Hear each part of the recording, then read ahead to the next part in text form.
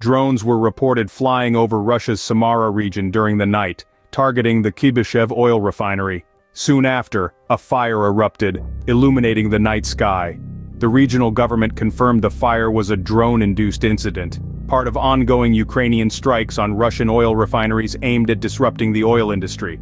The primary refining column at the Kuibyshev facility was the latest target. Despite the blaze, no casualties were reported, and by dawn the situation was under control.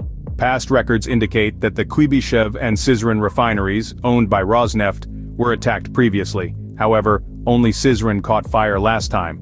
Post-attacks, Ukraine's deputy prime minister affirmed that Russia's oil refineries were legitimate targets. Furthermore, presidential advisor Mikhailo Podolyak refused U.S. pleas to halt the attacks. This continued assault has visibly impacted Russia's oil refining capacity. Remember to like, comment, and subscribe for more.